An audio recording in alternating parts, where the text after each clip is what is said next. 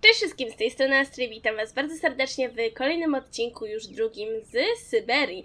E, No i dobrze, jak pamiętamy dobrze, po, e, poprzednio dostaliśmy, poprzednio zostaliśmy w ogóle wprowadzeni w tą grę, zostaliśmy zostawieni z pra- ze sprawą e, przekazania, przekazania, sprzedania fabryki tutaj mieszczącej się w miasteczku, w którym się znajdujemy, Valadiline. Jednakże z uwagi na śmierć właścicielki trzeba sprawę załatwiać notarialnie i właśnie się znajdujemy u notariusza i do niego wchodzimy do jego biura, o. Albo do jego gabinetu w sumie, bo w biurze jesteśmy. Witam pana. Dzień dobry. Panna Walker, jak mnie mam. Jak minęła podróż? Spokojnie i bez kłopotów, dziękuję. Proszę usiąść, panno Walker. Proszę. No właśnie, tak więc zajmujemy miejsce. Nie dali nam, jak widać, nawet wyboru, w którym miejscu chcemy siedzieć. Kate z góry wie. Mam nadzieję, że zdaje pan sobie sprawę, co mnie tu sprowadza. Oczywiście, oczekiwałem pani. No i dobrze, generalnie to tutaj mówiłam wam, że na ogół jest tak, że to jeden konkretny temat aktywuje, mm, powiedzmy, no ak- aktywuje po prostu posunięcie się dalej fabuły głównej. Natomiast właśnie w tej rozmowie nie pamiętam, czy to była misja, czy też może jakiś inny, dlatego może się zdarzyć fail. Natomiast póki to sobie ominiemy właśnie temat misji, tak więc Kate. W pewnym zakresie prawnie reprezentuję spółkę Universal Toy Company. Odpowiadam za... Tak, wiem, doskonale się rozumiemy, panno Walker. Czy ja wiem, czy my się doskonale rozumiemy? Ja pana dopiero co poznałam. Z uwagi na ten smutny fakt, iż nie ma już wśród nas Madame Wollerberg, wierzę, że w kwestii sfinalizowania sprzedaży mogę na panu w pełni polegać. Proszę nie spodziewać się zbyt wiele, panno Walker. Obawiam się, że nie będę mógł pani pomóc w tym względzie. No właśnie, on już mówi, że niezbyt. Hmm. To jest ciekawą sprawą, bo e, z uwagi właśnie na śmierć e, panny Anny Vorarlberg, e, prawnie fabryka, z tego co wiem, przechodzi jako własność miasta, jeśli nie miała żadnej rodziny. Więc no to jest ciekawe, że nie możemy załatwić u notariusza tej sprawy.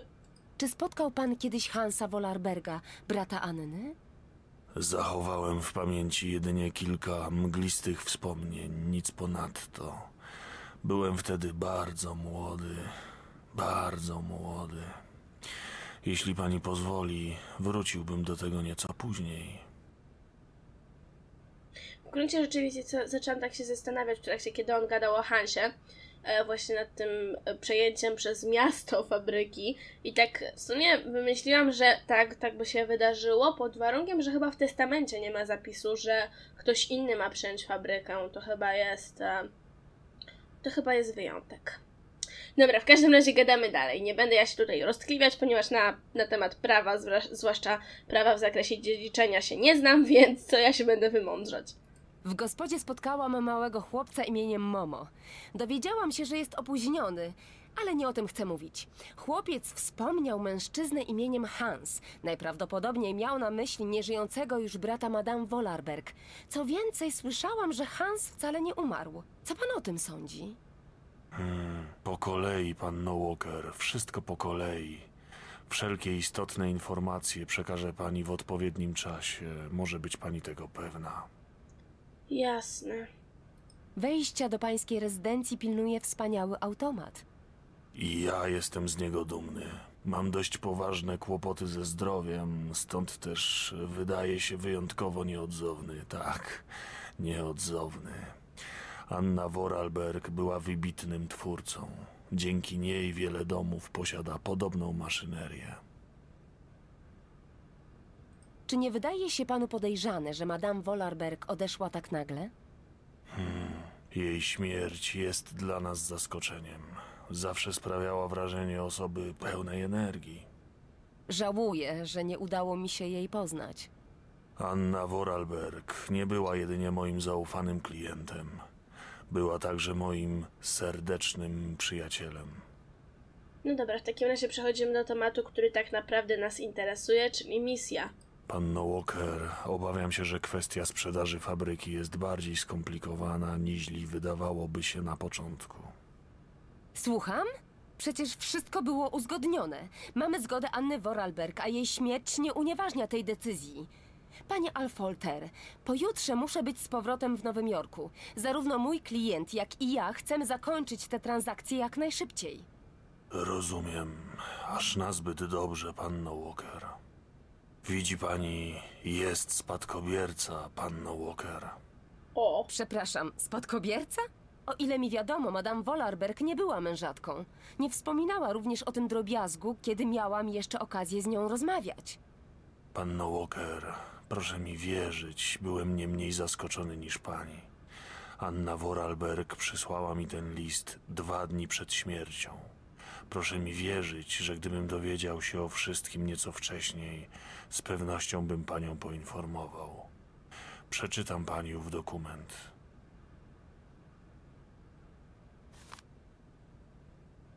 Jestem już stara, czuję jak życie ucieka ze mnie szybciej niż się kiedykolwiek spodziewałam. Obawiam się, że nie doczekam chwili podpisania umowy i przejęcia fabryki. Dlatego zdecydowałam się coś ci wyznać. Mój brat Hans żyje.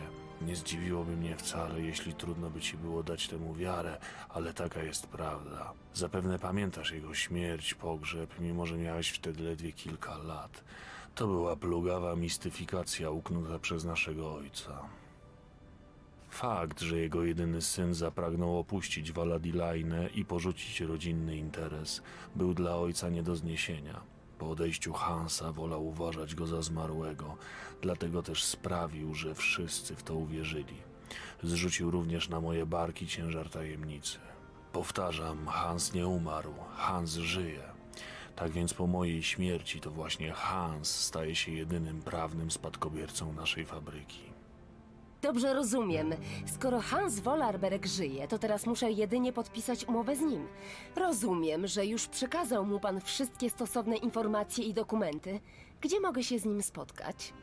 W drugiej części listu napisane jest, że Hans Vorarlberg przebywa gdzieś e, na Syberii.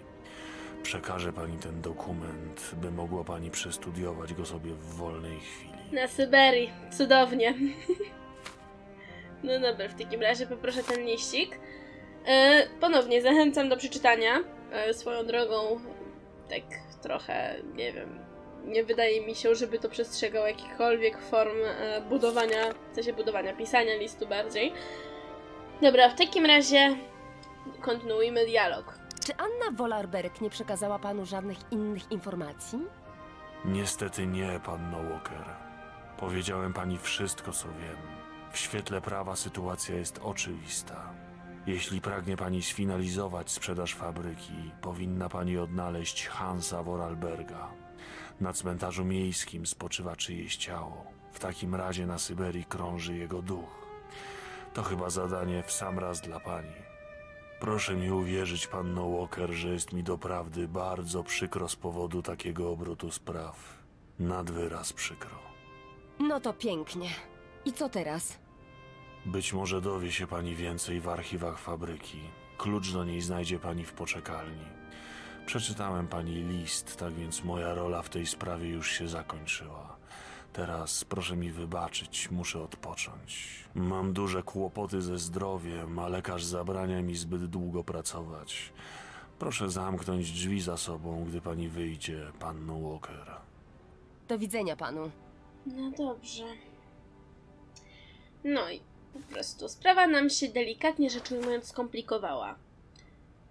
Musimy em, odszukać Hansa Vorarlberga w celu sfinalizowania właśnie sprzedaży tej fabryki.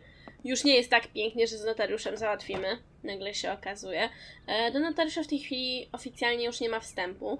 Natomiast tak, on chyba nawet o tym wspominał, nie wiem, ja trochę muszę przyznać, że momentami e, nie słucham tych dialogów, bo po prostu pamiętam co, gdzie, jak się dzieje i w ogóle. Natomiast on chyba właśnie wspominał, że tutaj gdzieś w biurze jego jest klucz do fabryki. I ten klucz znajduje się tutaj. Przy wieszaku na płaszcze. Dobre miejsce na umieszczenia klucza. Swoją drogą jest to, jak widać, klucz taki dość interesujący, teleskopowy. No ale dobrze, e, w takim razie my jeszcze nie udamy się do fabryki. My byśmy się udali do miejskiego kościoła. Myślę, że będzie lepiej. W sensie tak się zastanawiam, czy my mamy rzeczy, które są potrzebne do tego kościoła, ale chyba tak, chyba nie jest potrzebne y, jakieś nie wiadomo co do tego kościoła, jakieś klucz ani nic.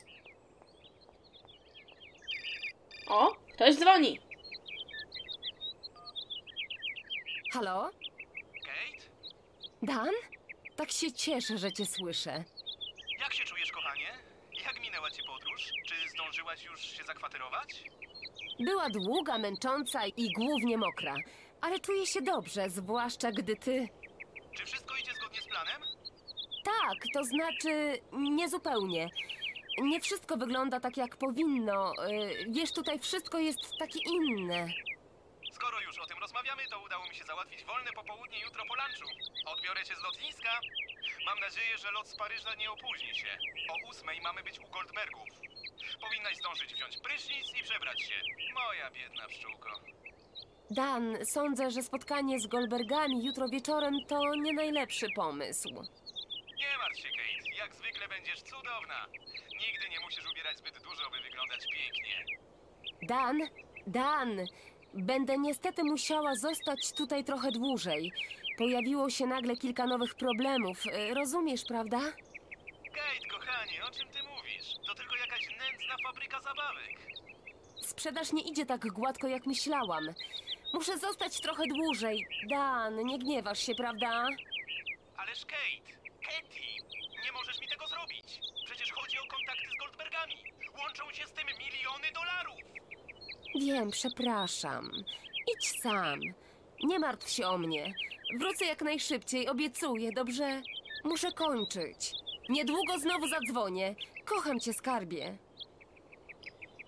Tak, to był Dan, czyli inaczej narzeczony Kate. E, Postać, którą ja osobiście niezbyt lubię, natomiast tak. Swoją drogą osobiście myślę, że jeśli chodzi o ważnych partnerów biznesowych, jak to przedstawił e, Goldbergów Dan, to myślę, że byłby to, byłby to spory plus, gdyby on, był e, gdyby on by powiedział, że Kate jest nieobecna, w, ponieważ cóż, przedłuża się sprawa, ona traktuje poważnie swoją pracę, nie? Jako prawnik. Tak, natomiast tutaj siedzi staruszek, też można z nim pogadać, więc sobie przeprowadźmy dialog. Po czemu by nie? Dzień dobry. Dzień dobry.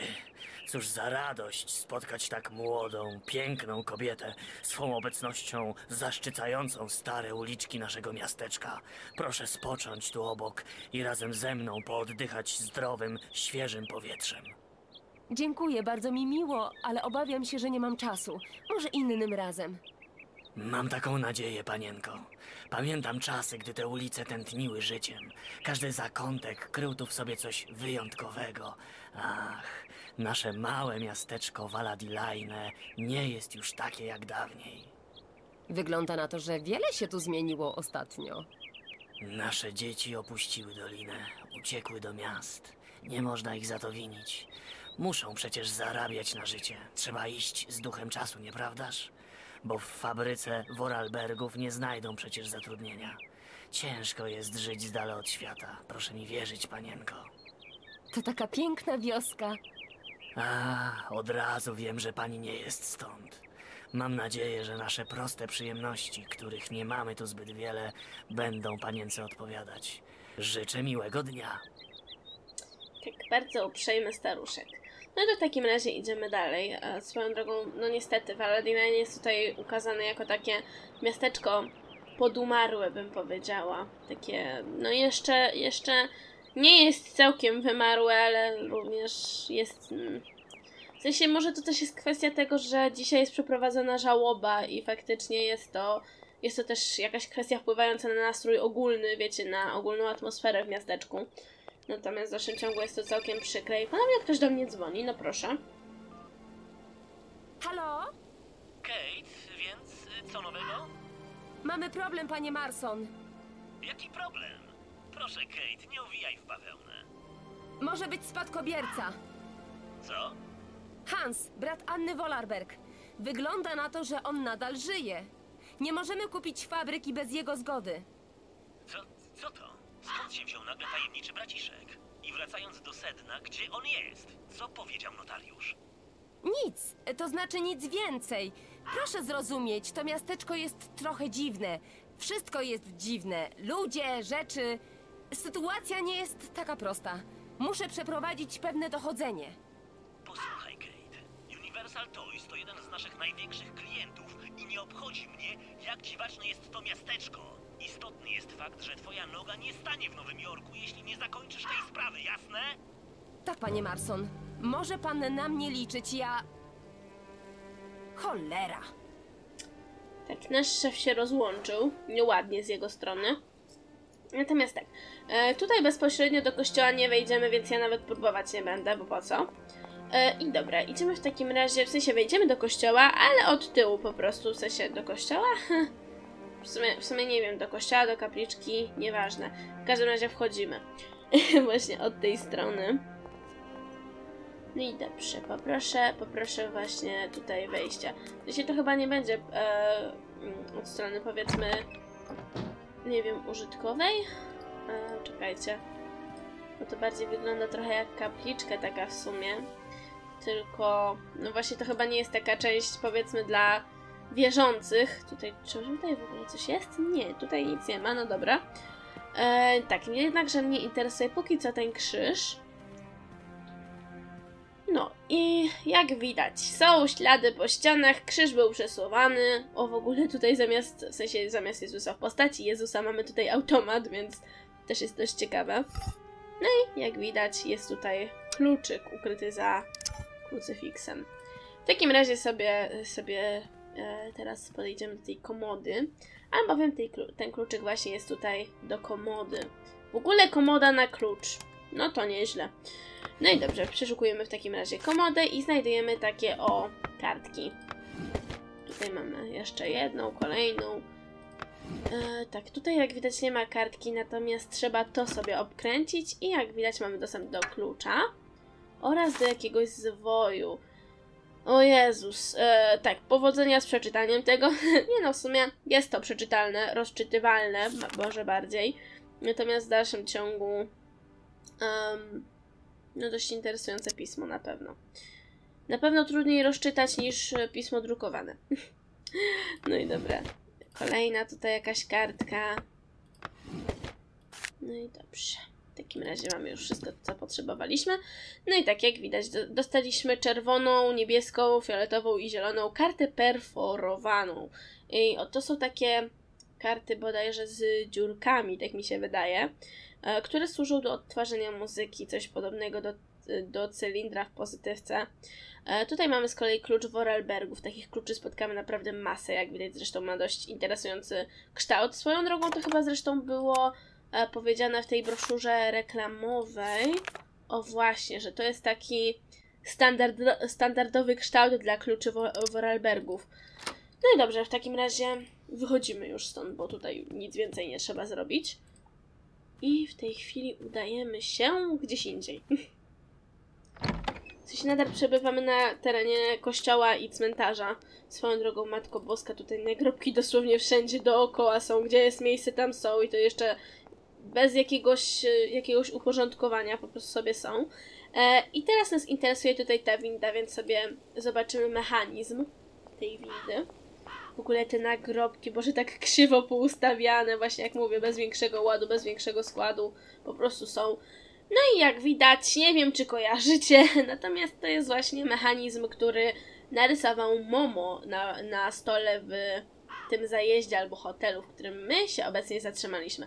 E, mówiłam też, że ta zagadka jest na tyle intuicyjna, że e, nie trzeba podpowiedzi, natomiast prawdą jest, że po prostu jedno koło zębate pasuje w dokładnie jedno miejsce, jak zresztą widać.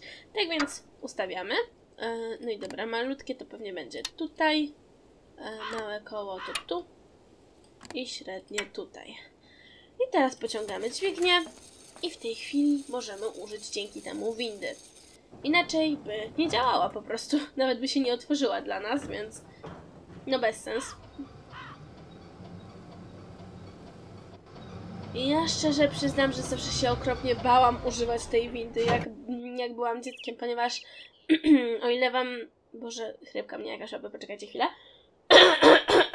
Dobra, czasem trzeba sobie porządnie odchrząknąć. E, o ile właśnie wspominałam wam, że była to jedna z pierwszych gier, które grałam, to nie wspominałam, że miałam około chyba 6 lat, jak to pierwszy raz grałam, coś takiego. E, I właśnie okropnie się bałam korzystać z tej windy, bo zawsze mnie przerażało, że ona jakoś się zaraz zerwie, jakoś spadnie albo coś. W każdym razie mamy tutaj taką interesującą rzecz. Ma dziurę w plecach, to nie może być, to nie mogło być miłe. Jeśli to ma zadziałać, potrzeba czegoś jeszcze. Tak, yy, no. I w tym momencie trzeba tutaj mu w te plecy coś wsadzić. Coś w postaci jednej z naszych kart perforowanych i oczywiście jest jedna prawidłowa i to jest fioletowa. No i patrzymy, co się wydarzy.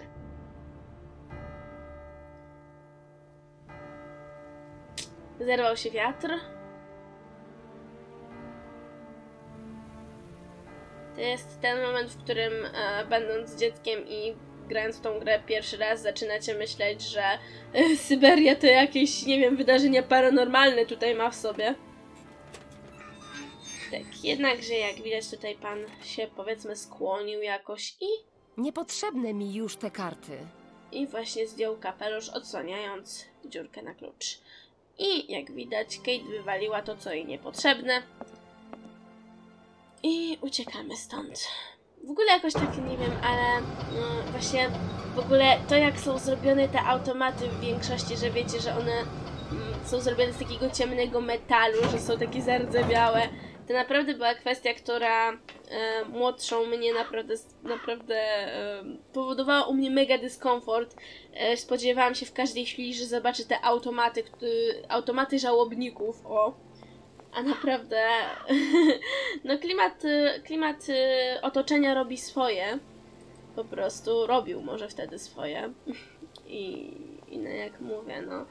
Dla młodszej mnie e, gra w tą, granie w tą grę było dość ciężkie do zniesienia, szczerze mówiąc. Natomiast tak, dobra, patrzymy do tej dziurki, od, dziurki patrzymy do kapelusza, w którym jest dziurka.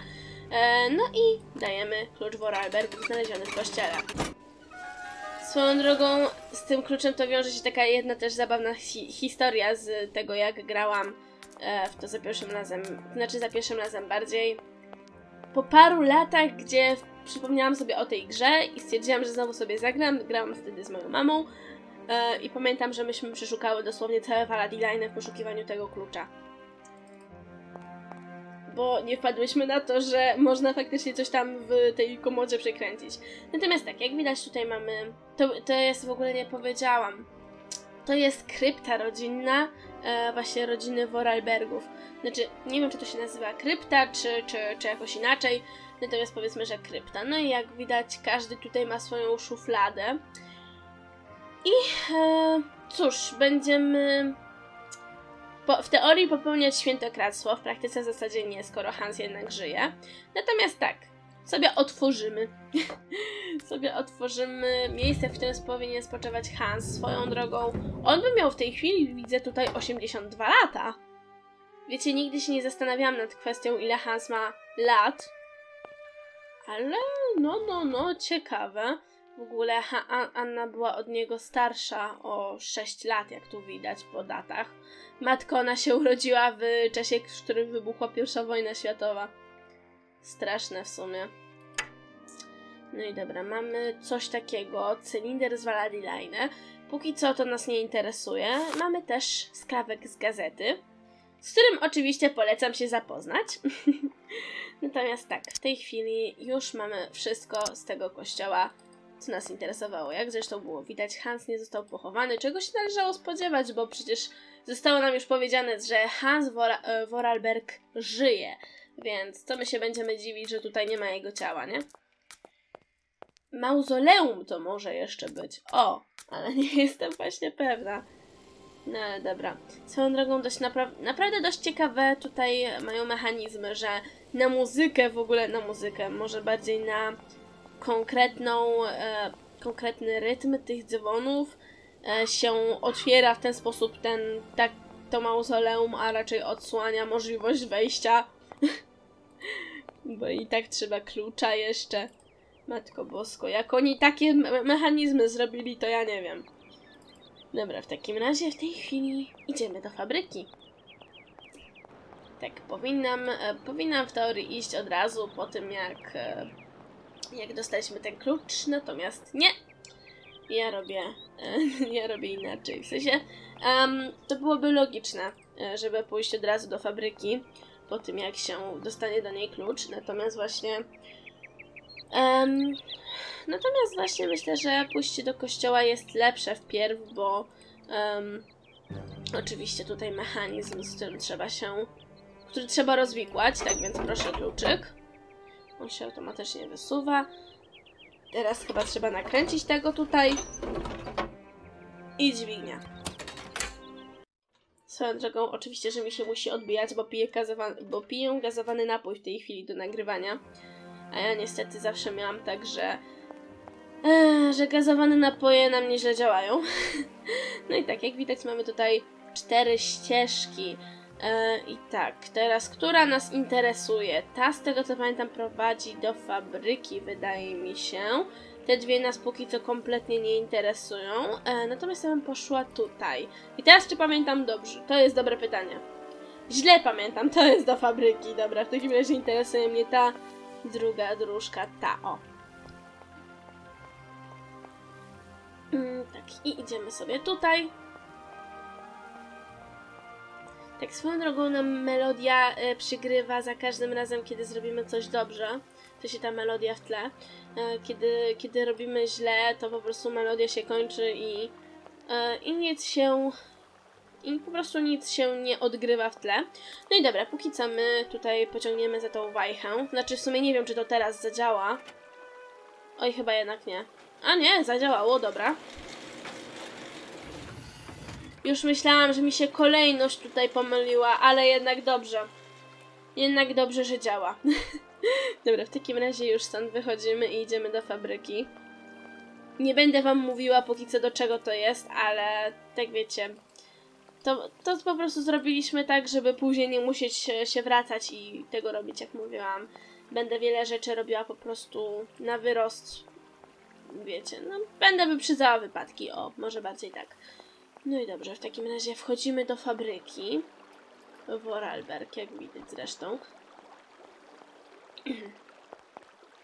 No i dobrze, poproszę tutaj wejście. Swoją drogą, ja rozumiem, że brama była zamknięta, ale ciekawe, że właśnie fabryka Vorarlbergów nie jest jakoś bardziej zamknięta, że po prostu drzwi do fabryki, można powiedzieć, że stoją o- otworem poniekąd. Natomiast tak, e, mamy tutaj halę produkcyjną, widać już jej kawałek, dość interesująca. Natomiast póki co. E, o właśnie, tutaj mamy halę produkcyjną w całej okazałości. Też mnie to przerażało, jak byłam młodsza trochę, natomiast nas interesuje właśnie pójście tam w tej chwili, w tą stronę, do tych drzwiczek, które już widać w tle. E, no i poproszę tutaj wejście w ogóle, Jezus Maria. E, jak mówię, jak byłam młodsza, to te automaty strasznie, strasznie mnie, mm, myślę, może nie tyle przerażały, co naprawdę powodowały u mnie dyskomfort. E, I no ja nie lubiłam za bardzo na nie patrzeć ani, albo coś. Teraz w tym czasie sobie ciągniemy za, waj, za wichajster. Tak, widzicie tutaj takie coś, co może robić za chomika, czy nie wie co. I jak widać, dzięki temu metalowemu pseudochomikowi opuściło się koło. Tutaj koło wodne, które jest w tej chwili obracane przez wodę i w tej chwili sobie tutaj ciągniemy za dźwignię. I dzięki temu mamy doprowadzoną do fabryki ekologiczną energię wodną. Eee, No, tak więc e, miło, widzi miło widzieć, że fabryka myślała o takich rozwiązaniach, które byłyby może nie tyle pożyteczne dla środowiska, co bardziej em, jakieś takie nieszkodliwe dla środowiska, może bardziej tak. No i dobrze, póki co ta hala nas nie interesuje. Udamy się w tej chwili gdzieś indziej, mówiąc krótko. E, Udamy się w tej chwili tam. Tam, bardzo dobre wskazanie kierunku. E, No, po prostu idziemy. O, i znowu ktoś do nas dzwoni. Ale my dzisiaj popularni jesteśmy. Tak, słucham. Katie, co się z tobą dzieje, moja mała różyczko? Próbuję się z tobą skontaktować od wielu godzin, kochanie. Jestem w Europie, mamo. Zawodowo. Co? W Europie? Mój Boże, och, ileż ja mam dobrych wspomnień z Europy. Niektóre nawet dotyczą twojego ojca, ale wystarczy już tego. E, mów, gdzie jesteś, w Paryżu, Londynie, Wenecji? Valadilajny. Tak wiem, to trochę na uboczu. A cóż ty tam porabiasz? No wiesz, interesy. Muszę dopilnować przyjęcia starego interesu rodzinnego, który siedzi po uszy w długach. To urocze miejsce, ale dzieje się tu kilka dziwnych rzeczy. Nie mogę ci o tym teraz opowiadać. Oczywiście twoja stara matka jest zbyt głupia, by to zrozumieć. Czasami zachowujesz się tak, jak twój ojciec. Mamo, Katie, nie zgadniesz, kogo wczoraj spotkałam. mamo, nie mam zbyt wiele czasu. Franka. Mamo, proszę, muszę. Franka Malkowicza, rosyjskiego solistę operowego. Możesz go nie pamiętać. Kiedyś był wielką gwiazdą. Mamo, słuchaj, naprawdę nie mam czasu. Oddzwonię do ciebie. Jest uroczy jak dawniej. Byliśmy... Mamo, muszę już kończyć. Zadzwonię, obiecuję. Kocham. Tak, oczywiście nasza matka, znaczy matka Kate może bardziej, um, woli się zajmować, znaczy bardziej e, swojej córce właśnie gada o sobie niż słucha jej, co tam u niej. E, no i tak, mamy tutaj naszą rzecz, która, e, która do nas tutaj przyjechała. To jest naprawdę ciężkie. Muszę iść po pomoc. Swoją drogą tutaj też właśnie jest kwestia taka, że taka ciekawa dość, że to w ogóle mogło tutaj zostać przywiezione, kiedy nie było w fabryce jeszcze zasilania. No, natomiast mamy tutaj takie coś, takie ustrojstwo, więc sobie użyjemy tego ustrojstwa. Od taki oryginalny w kształcie oraz automatyczny wózek widłowy.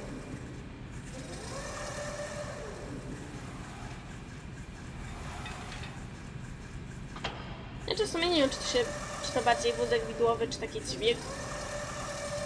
Jak dla mnie wózek widłowy. tak, i on jak widać nam zawozi to ustrojstwo do, do hali produkcyjnej. Czyli jak w sumie możecie się domyśleć, będziemy korzystać z tej hali produkcyjnej po prostu. Taki od spoiler.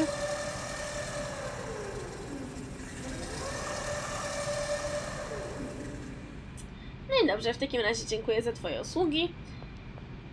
I w takim razie następnym razem pójdziemy tutaj, natomiast w tej chwili sobie zakończymy. Tak więc dzięki Wam wielkie ludzie za oglądanie. Mam nadzieję, że drugi już odcinek z Syberii Wam się podobał i że będziecie też oglądali dalej. No, to miłego dnia Wam życzę i do usłyszenia następnym razem. Cześć!